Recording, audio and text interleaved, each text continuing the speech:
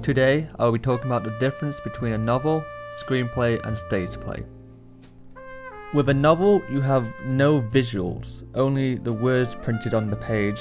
You don't have sound apart from the noise of paper rustling between your fingers, so it's key to describe what's happening. From the characters' emotions to what they are wearing and how the world looks. Everything is explained to the viewer so they can be transported to this world. A stage play has visuals, however, it's performed live in front of hundreds of people. And the further away you get from the stage, the less detail you see, but you can always hear what is happening. This is why stage players concentrate on the dialogue to tell the story.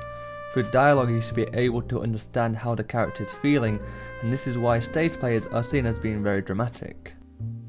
With film, you have the privilege of having the audience see what you want them to see, so you don't need to describe or say what's happening, you just need to show it. That's why screenplays focus on the visuals rather than the descriptions and the dialogue. Now, dialogue is a great tool, however, you shouldn't need to tell the audience how a character is feeling, but rather show them. This is why films are seen as being more realistic, because in the real world, you don't need to say how you're feeling, people just know. To briefly summarize, novels focus on the descriptions, stage plays focus on the dialogue, and screenplays focus on the visuals. I've been Toby, and thank you for watching.